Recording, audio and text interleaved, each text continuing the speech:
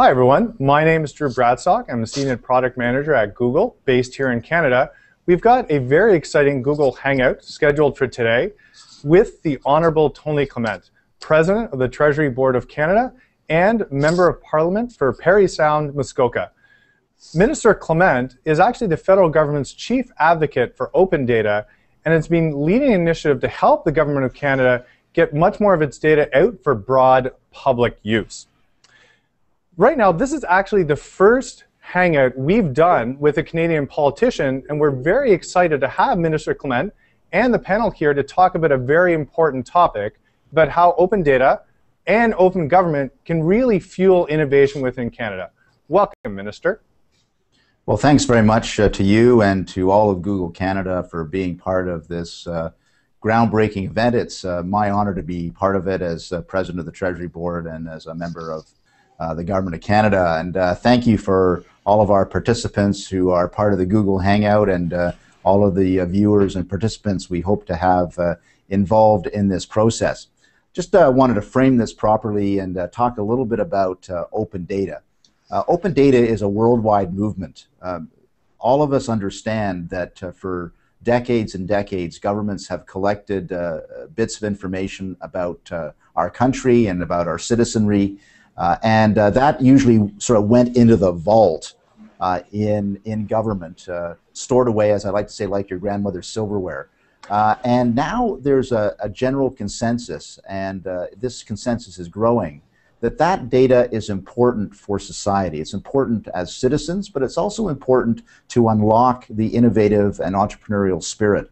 Uh, so when you get that data online, uh, what it means is that that data can be uh, recycled and, and used for, for other beneficial purposes. Uh, when you turn on your weather app on your smartphone, that uh, weather data comes from government data uh, when you want to know whether uh, your the wait times at the border are, are too long or they're, they're fine, that information comes from, from government data. When you use your Google Map app, that information, uh, when it comes to the public transit routes, comes from open data that is supplied by municipalities across the continent.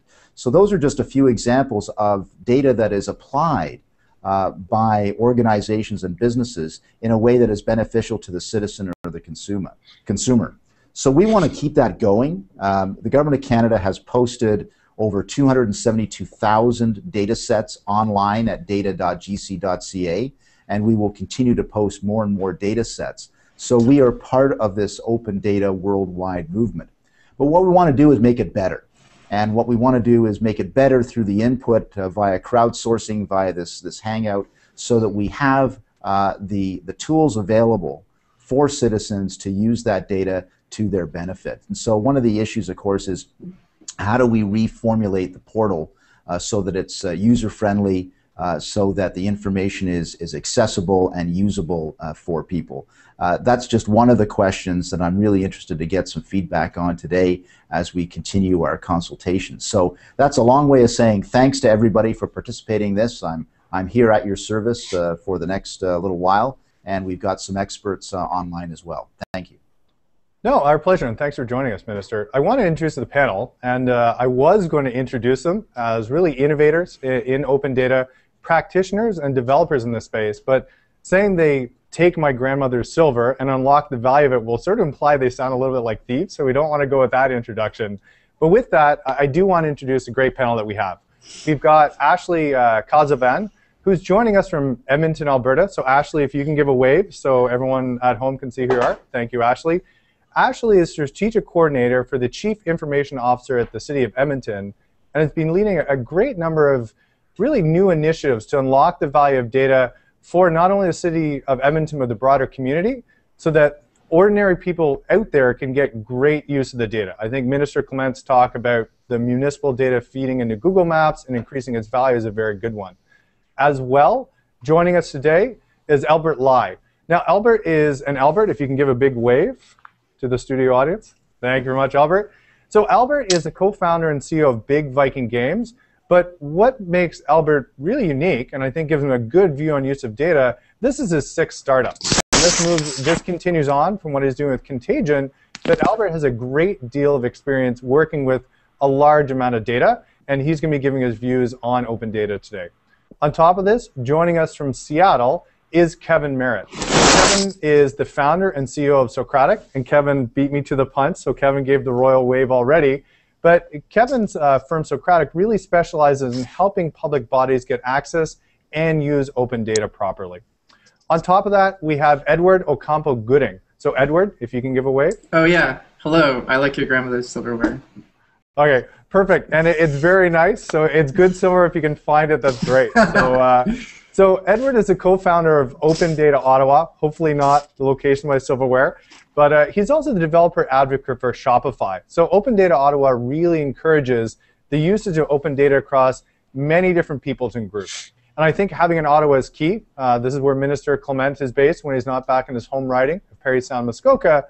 But it's a great way for the local community to interact with the federal government, and Edward's been a, a big advocate in that space. So joining me, actually, studio left, he's just down the hallway, so you have to pretend he's in touching distance, is Ray Sharma. So Ray, if you can give a wave. So there's Ray, and don't judge Ray by the T-shirt for those of you not based in Toronto. So uh, no tweets, no questions on the possible success of the Maple Leafs. That's not the topic of today's call. But Ray is the founder and chairman of XMG Studios. Ray is extremely well known worldwide for his expertise in mobile gaming. And actually, he's also the founder of the Great Canadian Appathon Hackathon, which is a great way for different developers to get together and, and try and improve all their code and develop new applications. So welcome, Ray. Now, we've already had an introduction from Tony Clement, but we have another member of the government joining us. And definitely last but not least is Stephen Walker. Stephen, if you can give a big wave.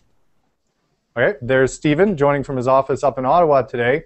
So Stephen is part of the Treasury Board Secretariat, and Stephen has actually been instrumental in forming the portal, the data.gc.ca. And don't worry, uh, we'll be repeating that URL uh, a couple of times throughout it. We highly recommend all our viewers taking a look at it. This is the Open Canada portal, or uh, the Open Data portal for Canada. This is the core of what we're going to be talking about today. This is a huge shift for the Canadian government in terms of the amount of information they've made available to the public. And the portal is really being the central area for all this data, and Stephen has been a huge driver. So I apologize. I just have to open up the moderator screen here so we can have the questions with that, we're going to start getting into it. Um, before I give an introduction, I do want to highly encourage the, the studio audience, or all of you joining in online today, to participate. This isn't a panel just between the panelists and Google. This is really about hearing from the Canadian public with the questions you'd like to know more about on the topic. So what I'd like to encourage is ask questions, either on the Google Canada G Plus page, so you can post questions there and we'll bring them up, I've actually got an application in front of me that'll see the questions come through my moderator. So we highly encourage this. Also, you can tweet, and the tweet here is I'm just bringing up which one it is. My apologies. Here we go. So you can tweet us at Google Canada using the hashtags either open data or the hashtag Clement Hangout. So once again, you can tweet us at Google Canada using the hashtag open data or Clement Hangout. So definitely have the tweets come in either with comments or questions, and would love to hear from everyone out there. We'll weave the questions in across the next hour. With that, let's get started.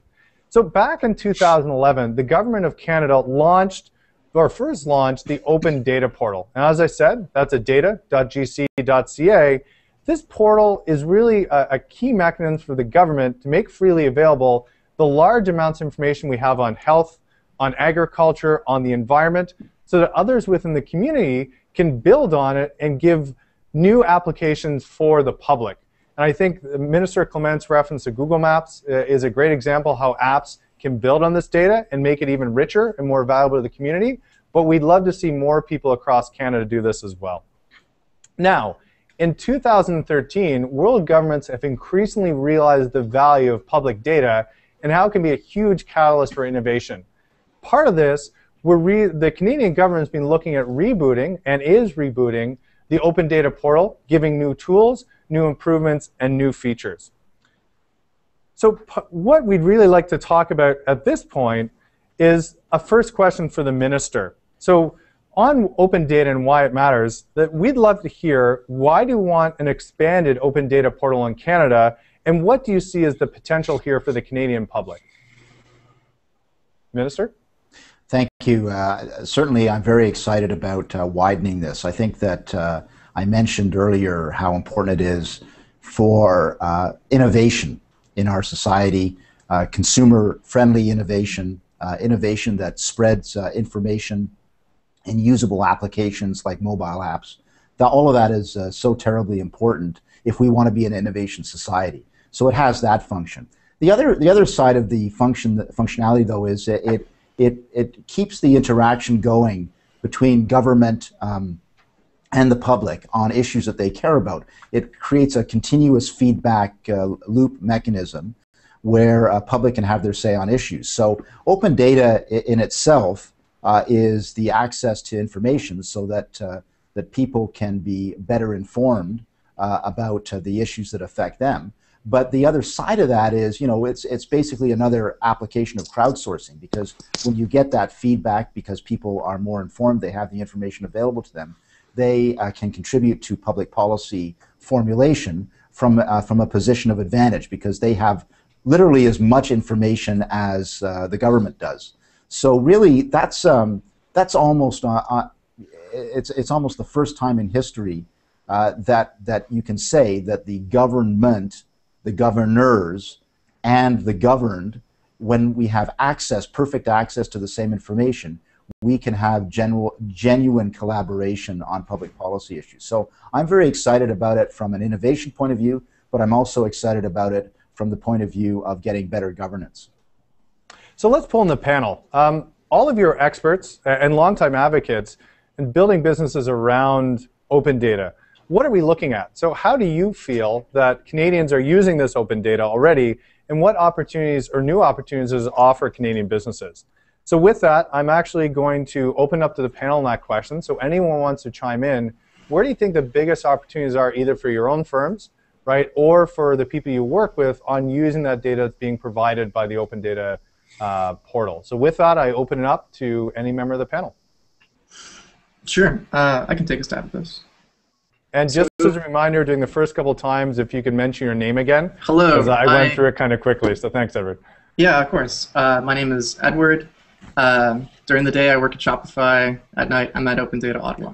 So. Um, like a superhero. yeah. yeah. um, so during the day, I run Shopify's App Store. Uh, we have a great API. It's a platform, which is pretty close to uh, what Open Data does for the government. And I can definitively tell you that um, something like open data or an API uh, really acts as, as a kind of like bureaucratic lubricant, which sounds weird, but like go with me here. So um, in every bureaucracy, you've got you've got all sorts of sources of friction, and something like open data reduces that because it makes everything easier to collaborate on. Uh, it shines extra light on particular issues, um, it just lets everyone like fix things themselves. It makes things easier to, to, to work on. Um, and so, having said that, I think the the emergent consumers of, of open data at a government platform are probably going to be working in that space more than like the external side. Like, I expect to see more things being generated by companies to help governments fix their own issues in terms of efficiencies and like see where there are costs that could be reduced or see where there's collaboration that could be had that that didn't or that, that, couldn't have otherwise. Yeah, um, like we have seen issues where like uh, I don't know if you're familiar with an application called Flightcaster. No. So um, Flightcaster is really cool. It tells you when your plane is really going to leave or not, and right. um, it's a consumer-facing uh, app. So like someone like me can put Flightcaster on my phone, and it's it's able to exist because uh, the U.S. Department of Transportation released its data. So that's really cool. That's really amazing. But I think that we're going to see probably fewer of those in the next little while, and more uh, applications that that are more government focused and making that platform more efficient. So actually, that's a that's a good point in terms of what the U.S. is doing in Canada. So Stephen, you were part of the excuse me Canadian delegation to the Open Government Partnership meeting in Brasilia uh, in April 2012. What have you seen that's been happening globally uh, versus what's in Canada, and how did that meeting influence what's going on right now with the Open Data Portal? So Stephen, over to you. Um, it's, a, it's, a, good question. I think that um, because open data as a area of activity um, under open government um, has really been highlighted um, by the OGP specifically, by the Open Government Partnership, you see that in the 50 odd countries so far that have already joined formally uh, the Open Government Partnership, a, an activity stream specific to open data that just wasn't there before. So um, I'm not sure how many of you are, are you know, you know, day to day counting the number of open data sites that, that happen to exist at, at any one time but it's it's been accelerating rapidly over the course of the last 12 months, which you know does correspond with the with the the, the, the communications and conversation around the Open Government Partnership itself. The other thing I think that's happening specifically because of the OGP is that they're acting as a hub, um, almost like a, uh, a brokerage to put together uh, you know, a, a, nationality or a jurisdiction that wants to do something um, um, with open data and doesn't necessarily have the tools or the knowledge, with a with a with another jurisdiction which is maybe a little bit farther down the road, so that they can sort of um, get in the game faster by transferring best practices and some some proven uh, uh, processes and development ideas. Um, uh, you know, we're, we've worked with a couple of other countries to provide information on what we've done so far. Um, the Americans have, have done quite a bit of that, um, as has the, the UK. So do you find Canada is both in a give and take relationship with them? Like we're contributing in terms of the work we've been leading with our portal and also learning from others across the Commonwealth and obviously our neighbors to the south as well. Do you well, find we, it's more a give or a take at this point? Um, I think um, it depends on which group of jurisdictions you're talking about. Okay. So, you know, if when it comes to those countries that are a little bit farther along, the UK uh, uh, and the Americans, for example, um, it's a much more of a two-way street where we're really more focused in on how do we create international standards that are going to make us um, all equally um, more efficient going forward. Um, whereas if you're talking about um, uh, developing nations, then it's a lot more. Um, this is what we have found has worked for us. It might work for you too. Okay, no, that's good, and that's how Canada can help other countries on this as well. So actually, on that, so rather than just looking at sort of the the global view of this, I think it's very particular or very important that we look at regional issues, and that's one of the key reasons we've got Ashley here. So Ashley, what has really worked for the city of Edmonton and the surrounding areas with open government and open data and what hasn't worked? Like, what are some of the challenges you've walked through? Because it's certainly not perfect. Open data is very challenging, which is why we've got yeah. the panel. So I'd love to hear your views at the Edmonton level. Yeah, and I think that Stephen did a really good job explaining what's happening on an international scene, and that's so relevant to what's happening municipally. So, uh, the City of Edmonton works quite closely with municipalities all across Canada but most specifically, some of the leaders in open data have been Toronto, Ottawa, and Vancouver.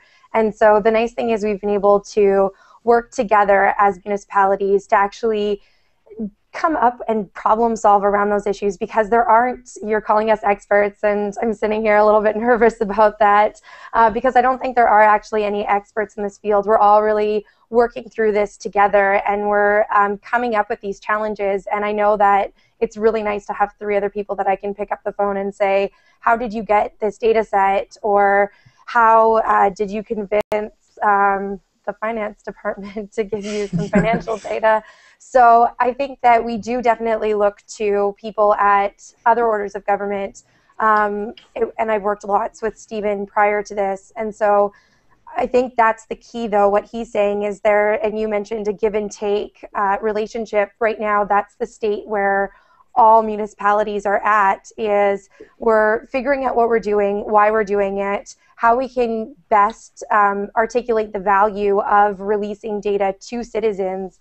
And um, not only actually we're seeing the value being an internal thing as much as it is an external value. So yes, we're seeing lots of people make really great apps. And I think that um, things that happen or data that we're releasing at a local level is the most tangible And so it's easiest for people to make uh, garbage collection apps or uh, apps of when that'll give you alerts when uh, fields are open or closed.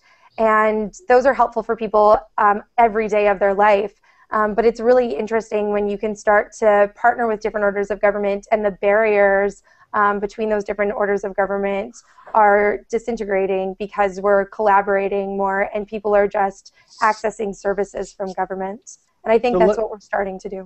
No, that, that's great. So let's hear from the people who have to deal with when the rubber hits the road, right? Because a lot of us talk about opening up that data, but I have a data background. Uh, I work with databases for years and years. I know opening up and then working with and using it is often a huge challenge. So I'd love to hear from Albert or Ray or Kevin on the challenges that they've seen, or also what have they done to, to leverage this. But I think the challenge is probably the most interesting uh, information for our audience and for the other panel. So I'll turn over to any of you gentlemen.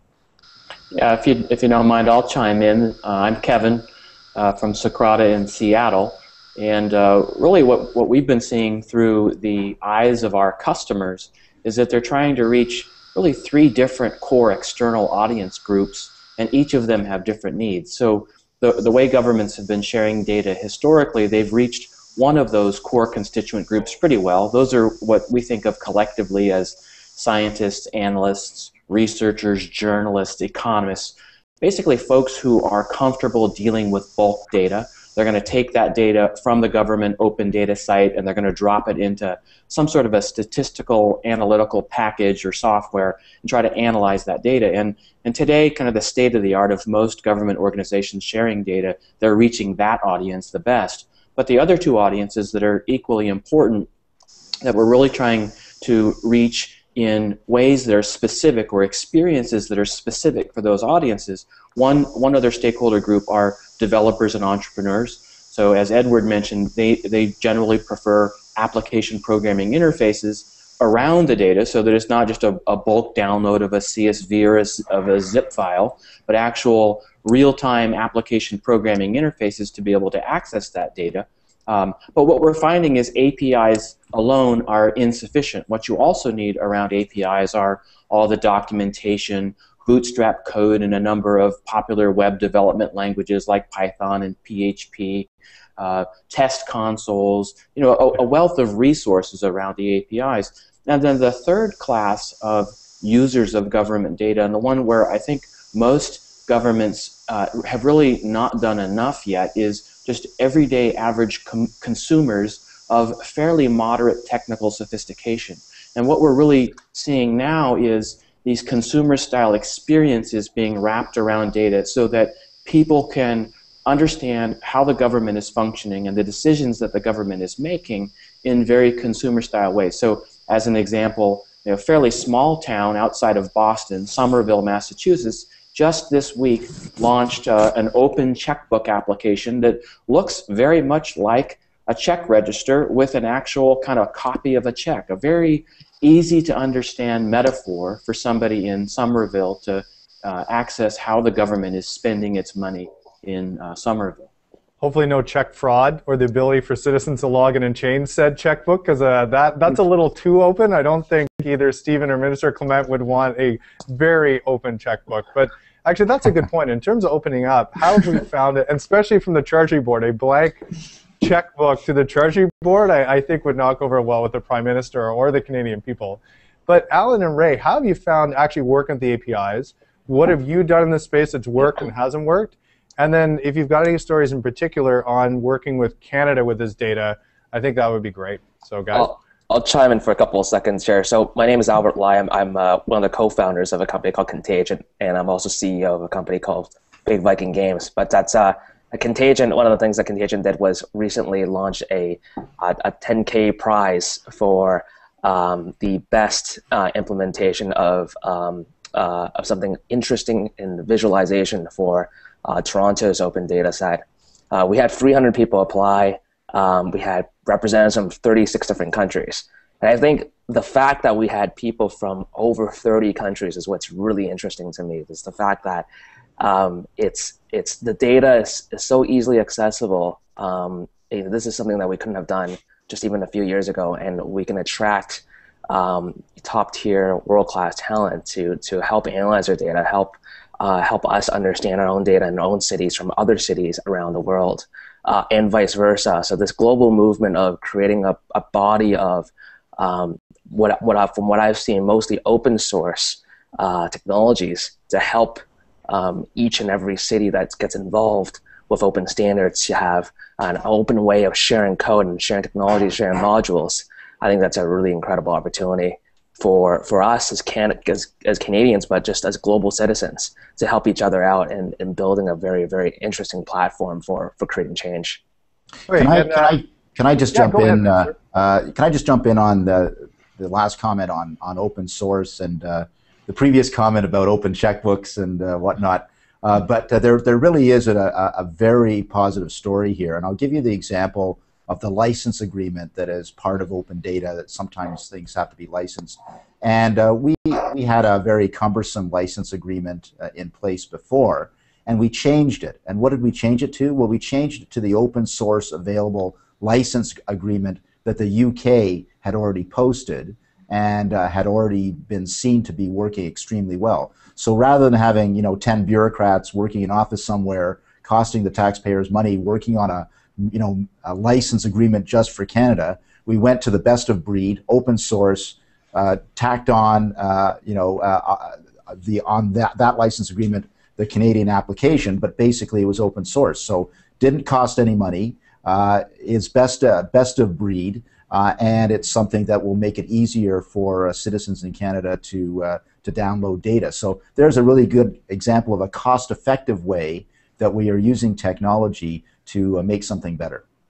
Thanks, if I Minister. can just jump in yeah, on that, though, I think what the federal government's done with adopting the license is a great example for how we can collaborate going forward. Not only did they adopt the UK license, but they posted it on the website and allowed people to actually contribute comments to it um, so that they were actually establishing a uh, license that other cities would be comfortable adopting or other governments would be comfortable comfortable adopting. And that's huge because we felt like we got a say in it and now we can take ownership over that license. And that license is now being used or hopefully when we adopt it will be used all across canada. And we have one license. And so the users of it can be whether you're making a game or an app and you're in Edmonton or you're in Ottawa or anywhere else over the world, if you're using Canadian data, you only have to look at it once. You don't have to figure out if you are legal in different jurisdictions. And so that's making a better user experience for people. So I think they've set a really great example of how to go forward. No, that's great, and thanks. And just so that people don't think I'm ignoring Ray because he's wearing a Leafs top, because I, don't want that to be what's uh, remembered here. Ray, what do you think the business opportunities for this are? Like uh, you, you run your own company. Um, it's really your lifeblood. How do you think this helps you, and how can it help others? And we'll get to a couple of questions from the audience in just a second. But one of the questions that ties into this from um, Terry Mulcahy, and I apologize, Terry, if I mispronounced the last name via Twitter, was how would this benefit small business startups in small rural areas? So not just Toronto, but how do you think this would benefit uh, outside of Toronto or Vancouver or Montreal? And how has it helped you business-wise? Sure. Um, hi, my name's Ray, and um, I do run a mo- really cool mobile game studio right in downtown Toronto, right at King and Yonge, called XMG. But uh, the perspective I'd like to add to this discussion is that I've also been involved in investing in 30 early stage or first stage uh, investments in tech companies in, in the Canadian uh, area over the last five years, resulting in about a thousand new um, software development jobs, several exits, including a company that Google bought, ironically. Um, Which one? Called BumpTop. Company okay, called BumpTop, yeah. which uh, was a, a, um, a, local grown company. And Google's actually bought five Toronto, uh, five companies in the local area. They've been a great um, part of the ecosystem. But the, the perspective I'd like to bring to this discussion is the perspective of the developer, because I think a lot of those investments have gone into companies that have developed apps and uh, so I've had the benefit of experience of, of, several hundred million downloads worth of mobile apps. And what I thought I'd do is I would uh, help inspire the developers to look at the open data opportunity. And I did some research on some best practices around the world. And I thought I'd just share that um, with you here today so that app developers could get a sense as to what is the opportunity out there let me give you some quick examples. That'd be fabulous. Thanks, Ray. So here in Canada, there's an app called uh, Emitter. It's a pollution app, and what it does is it measures pollution levels in different parts around the country. But they're not only restricted to Canada. You can look at other countries that have plugged in their open data and uh, check their pollution levels as well. There's another one in Canada called Save the Rain, where you put your house and you you can determine your water footprint um, based on you know water trends and uh, you know precipitation trends in your area. There's a there's an app on the on the municipal level called Waterloo Parks Finder. It's very simple, but it's kind of cool. You can find all the parks in, in the city of Waterloo.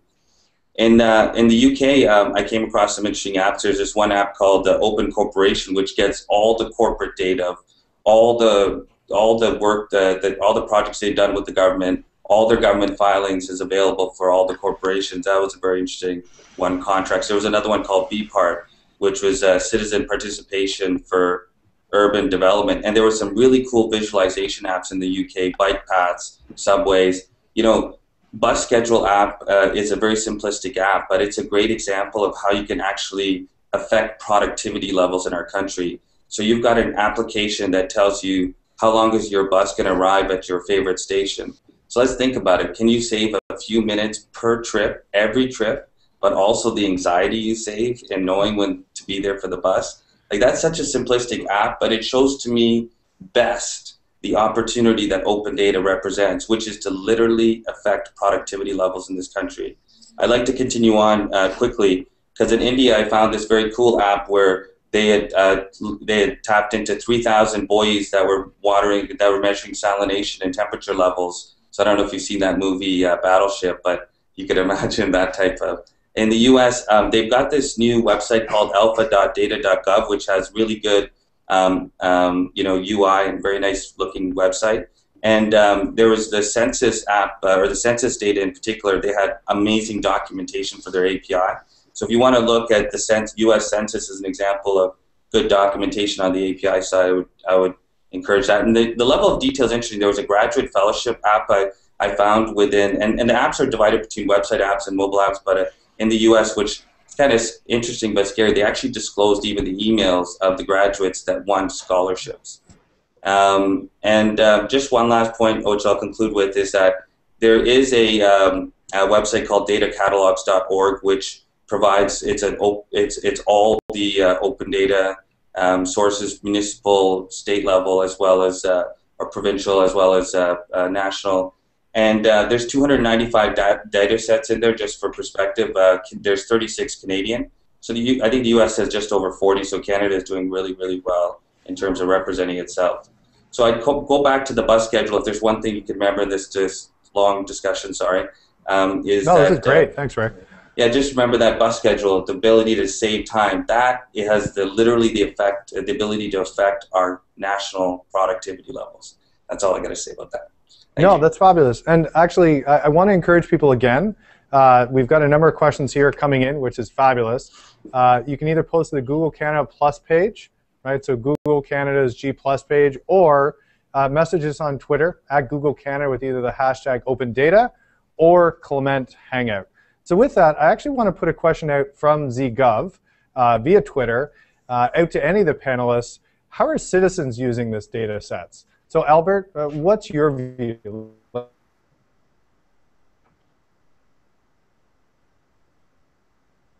I've got no sound. Did a Canadian win it? I think that you you've got a very development centric view of this. That's the question we all want to know. Did a, a Canadian win the win the contest before, and how are citizens using the data right now? Uh, I, I caught the last half of that. You, you cut out for a second, but um, I think I believe the question was who won the uh, the ten thousand dollar prize uh, that we put out for our open data contest, and uh, it was actually a uh, University of Waterloo. Was it a Canadian? Uh, so yes, it was a Canadian that won, and we're very proud of um, what Paul Butler did with the data. It was a, a fantastic um, visualization of um, the the traffic uh, data and the uh, transit data that we have here in Toronto. Um, so yes, I think there's a, there's a lot of incredible uh, uh developers that are coming out of a lot of our universities here that, uh, and many of which are very fascinated by all the uh, the abundance of of open data that's coming out. I think also to expand. Right, Now, a question. yeah, no, go ahead, Ashley, please. Uh, just what your question was around what citizens are doing with it. And to expand on one of Ray's examples, which I think were brilliant, is emitter.ca. Um, one of the people in Edmonton is actually working on that. Uh, thank you, Matt Dance from the U of A. And what they're doing is taking uh, data not only from the Canadian government, but they want to take personal devices, personal air quality machines, and then have that in a data catalog and potentially federate it with existing data catalogs. And all these things need to be figured out. But I guess where we're going next is how do we take quality data that's measured by citizens um, with guaranteed air quality measures and then integrate that so that we're getting be- better air quality and more real-time data. And what they want to do is for people with asthma they'll get an alert if they're going into an area that's saying this is a bad area for you back away. So it's really a, a great example of how we can take data that we collect and compare it with what people are doing um, on their own anyway Actually, no, that's good. And actually, another question from the from the audience. Uh, uh, from Albert Reland via Twitter, and this is a, actually a question for Minister. Oh, go ahead, Albert. I, am sorry to interrupt. I was just going to add, no, go ahead, add Albert. Ashley. Um, no, and that's a really good point. And the, the one of the really fascinating things about this is that you can take all this open data and mash it up with data that is being collected all over the world through actual citizens um, that are becoming real live real-time sensors, and I, this is this is something that is has incredible um, opportunity as as as technologists, as entrepreneurs, um, as as fellow citizens, because basically every time we we walk out with our cell phones, it's an incredible input device, um, and there are you know literally billions of them out there that enable us to both receive information to affect the way that we, we function and be more productive by arriving at the right place at the right time or you know, just allowing us to be more efficient in our day-to-day activities. But but it's it's a it's a fantastic piece of, of technology allows us to, to input um, data from all around the world. So I think you're going to see a lot of embedded technologies that will link up and synchronize with your um, your mobile device, whether it's through Bluetooth or through Wi-Fi. So I think over the next five years, you're going to see some incredible innovation around. I'm, I'm going to give uh, one one more example of that, if I could, uh, right right here. Uh, in Canada as well, in, in the city of Sault Ste. Marie in Ontario, Northern Ontario. They've, uh, they've combined in one open data portal not only the open data from the municipal uh, governments and other levels of government, but also the NGO open data and citizen open data. So they had a, they had a problem with uh, bears. So they had a they they allow they encourage people to uh, signal when they saw a bear bear sightings and they mapped that with the data that they had on garbage pickup, and lo and behold, they found that uh, they found bears wherever the garbage was out the night before for the garbage pickup. So they were able to change their garbage pickup routes, and uh, bear sightings within the city dropped by 80%. So there's a really good practical example of using citizen data with government data, data and solving a problem that uh, was uh, that perhaps a bit menacing to the community. So again, more of that. We need to see that, but it is starting to happen. So Minister Clement, actually, a, good point on that. That's a really good regional example. Have you found there's been provincial, municipal, and federal cooperation? Because open data is very much at a federal level. How has your work or the work Stephen's been doing changed that? And what are the plans coming up to do more partnership between the three levels of government? Uh, absolutely essential that we all work together, and uh, we do have some uh, early leaders. Uh, I'm glad to see Edmonton is online here. Uh, mentioned uh, Vancouver, Toronto. I mentioned Sault Ste. Marie. there, there are some open data leaders in our communities as well. So definitely want to work with them. I've had consultations with those groups along with the City of Calgary and some others. And of course, provincial governments. There certainly are provincial governments that are moving ahead with open data strategies and plans. Uh, I would say government of British Columbia, government of Ontario, uh, government of Alberta now is starting to move into this area too. So uh, yeah, I'm, I'm engaging on all those levels. Uh, what I see is a, an opportunity for us to all work together to learn from one another, uh, to uh, to improve one another's work, which is important as well in government. So yeah, I, I see this as a not only a citizen-based movement, but also governments working together to get the job done right. No, uh, good point. Now, actually, this question goes out to both Edward um, and Stephen. So it's sort of two sides of the same coin.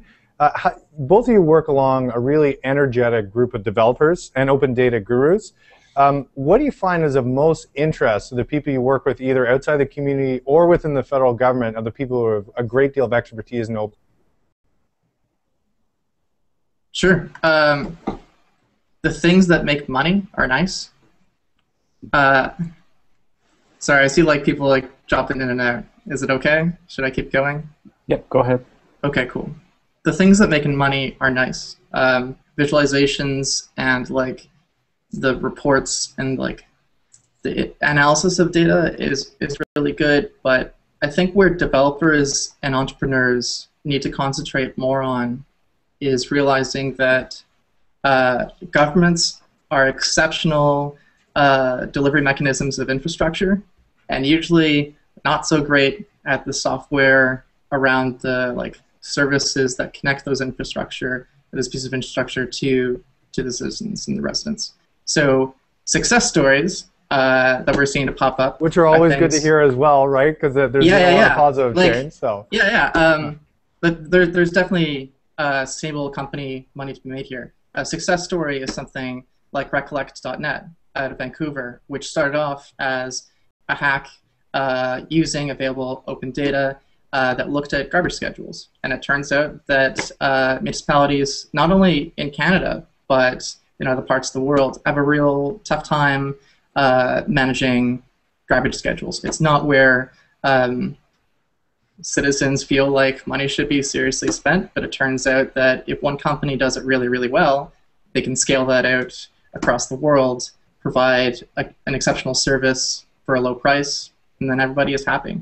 Um, but but the data part here is is kind of hard to grasp, right? Because like the usually for the most part the data is boring and it's useless by itself. Um, so D- depends who you ask, right? You ask a statistician, no. and it'll always be exciting. But uh, I know what. Well, no, uh, even to a statistician, um, the real joy in in seeing where like everything comes together is, is noticing, oh, actually, like these people have these problems, and if we mash up these different data sets and we present it in this way, we consume it in this way, then like now it's a gold mine, right? Like you see that with stories about Goldcorp and like you know recollect and that kind of stuff. Um, so actually, on that, just to build on that question, I'm going to modify what I asked Stephen a little bit. Stephen, what are some examples of really exciting innovation you've had within the government? Because you're doing a huge amount of work right now right. Um, with open data. What are the things that get your own team really exciting? What innovations have you had? And then I'll be asking um, Kevin a really good question of what's going on in the U.S., where he's seen some great innovation after that too. Right. So, Stephen?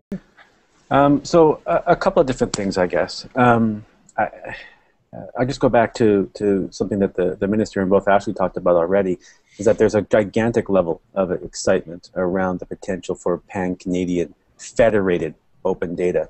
So the, the, the work that we do to, to drive interoperability between open data activities of British Columbia or Edmonton or the federal government, recognizing the fact that users and developers are, going to uh, want to combine and integrate data from multiple sources, um, that really gets us going um, um, internally. Um, the the all of the possibilities around the you know the the, the, the great leap forward rethinking around um, how we um, mount a uh, an open data portal that does a lot more than the addition that the original um, open data portal, which is you know which was largely experimental at the beginning and was always um, a pilot um, um, moving that idea forward, specifically around user engagement. Um, those of you who have, who have used the, the, the data.gc.ca to date will know that it doesn't come along with a lot of uh, tools for user engagement. Um, um, uh, our hope coming out of events like this one today is to, is to help drive the, the design and delivery of that portal to maximize its function in terms of engaging the users or bringing users together um, with each other in order to sort of facilitate greater use, greater uptake of the open data. Um, and I guess just from a, a, third uh, uh, uh, point, and this kind of goes back a little bit to something Kevin said um, um, near the beginning of the event, and it's this idea that you know we are driven to, to deliver open data um, um, to developers to help with the, the, development of apps, interesting, innovative ideas that will you know, drive the kind of time efficiency that, that Ray mentioned earlier as well. Um, but we do have to remember to think about the citizens. Um, so the capacity for the platform or you know, any government department or, or jurisdiction to kind of ensure that the data serves the citizens who may not be as technologically advanced as well um, is also very important to us. And that gets us very excited about things like visualizations um, and, and interactive tools that will allow the citizen to see data in different ways that mean something to them. So on that point, actually, Kevin, you work with a, a great deal of both uh, citizens and also public groups on open data, improving and using it.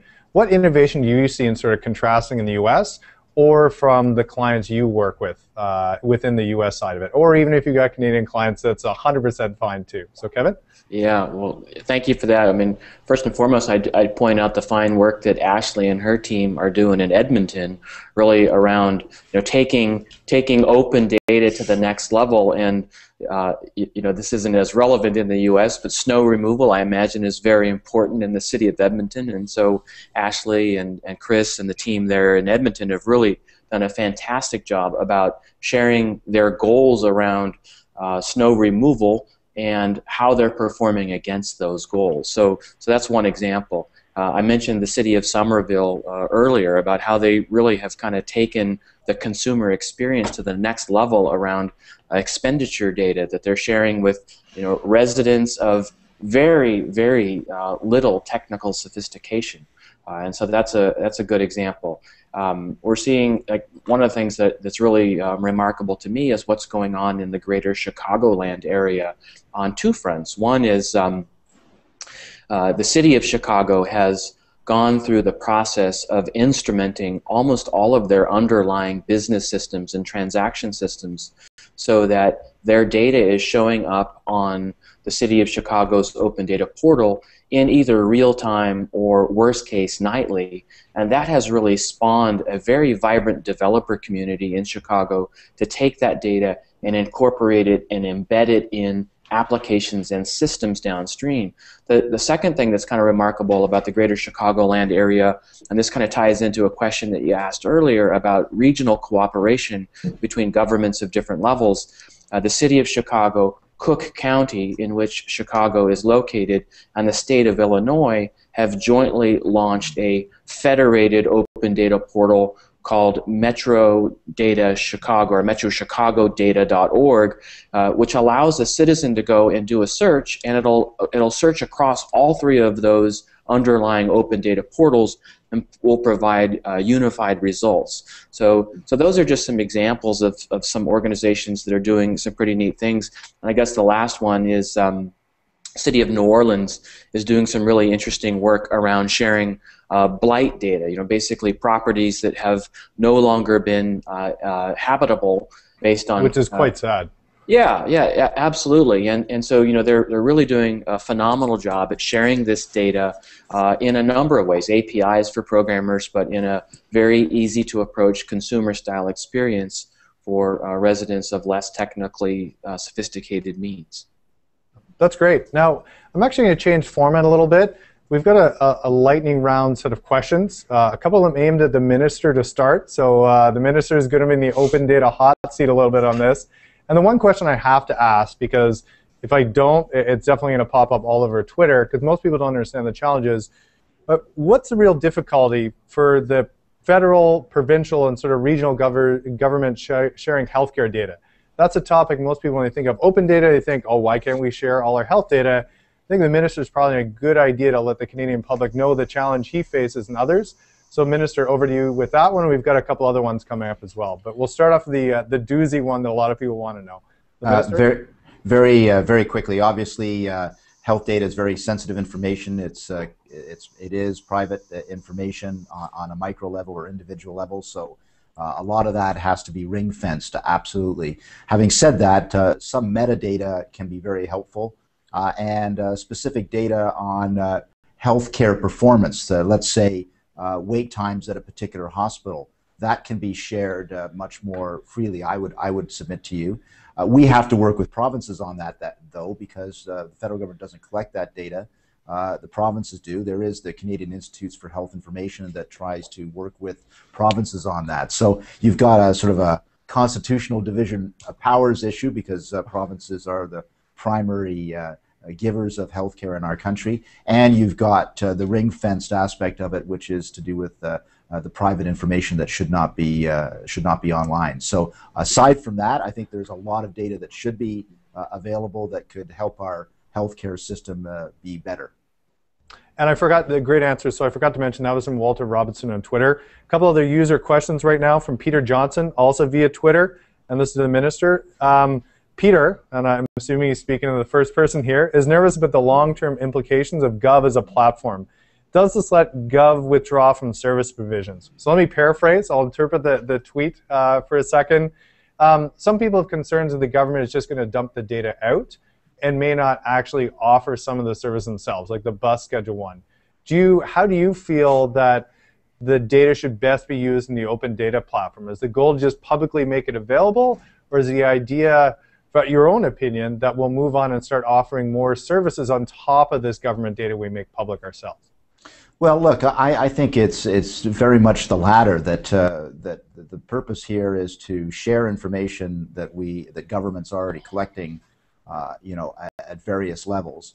Uh, and get some feedback from that. So uh, the, the worst thing to do is to make public policy decisions in a vacuum where there, there is no feedback mechanism for people uh, to react to it or uh, for, for decision makers to uh, to come up with policy ideas. You know, the worst thing is you know bureaucrat X14 on the 10th floor of some building in Ottawa uh, making policy proposals to politicians without any uh, connection to what's happening in the real world. So I think we governments want to avoid that. Uh, politicians who want to be successful need to avoid that.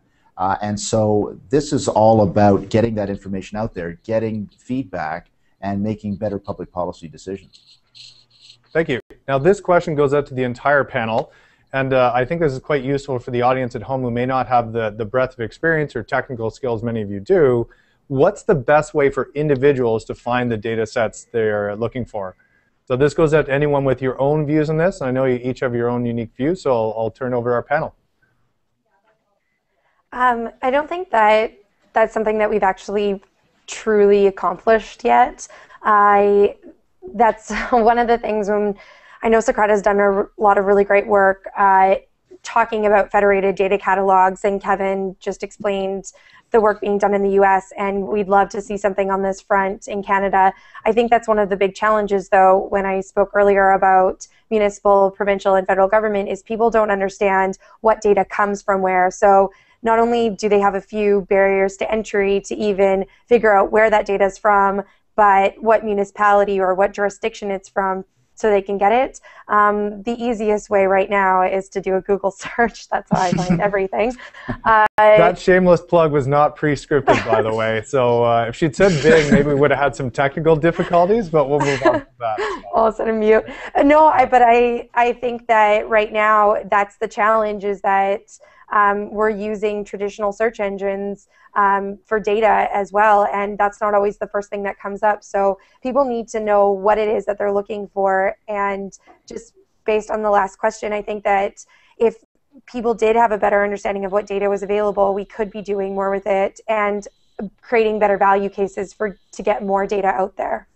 Right. And I'd, like to, I'd like to chime in there for a minute if I could, Drew. I mean, there, yeah, there, this is Kevin from Socrata. There's a couple of thoughts on that. You know, one is uh, you know, a fairly controversial idea that uh, I think they, the, the concept of the data catalog is actually something that is going to ultimately give way, that, that it's a temporary vestige that allows somebody to go and kind of have an index into what the government is sharing. But this is, a, this is an area where actually we could all do more work with Google and with Bing to do a better job describing data so that you guys can actually do a better job uh, indexing it and producing results when people search for uh, things that ultimately can be answered by public data. And so schema.org is a great, a great first step. Uh, but very candidly, it's not enough. Uh, we, we need to we need to do more about describing not only that this is a data set, but this is a visualization of a data set, or this is a time series, or this is an application that relies on this data set. So those are some things that that uh, that need to happen.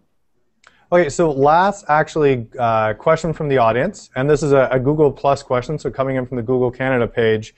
So the question is, open data can be a tremendous uh, tool for public good. Now, the CIDA just told us on Twitter they released new data sets. Maybe the panel can talk to international examples of open data success.